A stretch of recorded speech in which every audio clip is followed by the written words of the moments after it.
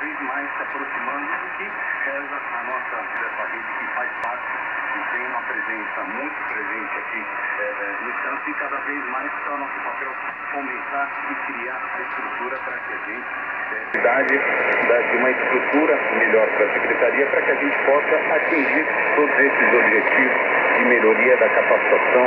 A sede, obviamente, possui uma rede muito é, avançada para que a gente tenha capacitações contínuas, diárias, de segunda a segunda, e que obviamente é, é da qualidade de ensino da nossa cidade.